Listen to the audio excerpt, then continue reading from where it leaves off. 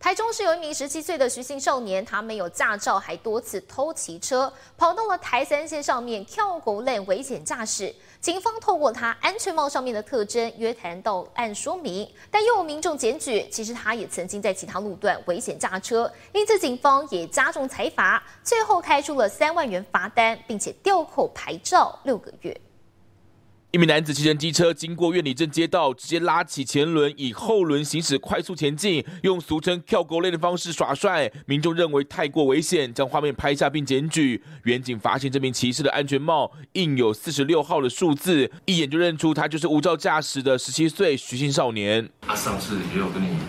劝导就是不要再有这种行为，你这次已经是第二次了。原来家住台中的徐姓少年，四月份骑乘机车前往台三线游玩时，被民众拍到独轮危险行驶。警方透过安全帽特征，六月约谈当事人到案，开出一万八千元的罚单。没想到现在又有民众检举，徐姓少年五月份也曾经在院里镇以同样的方式危险驾驶。警方依职权举发无照驾驶，在路道路上以其他危险方式驾车。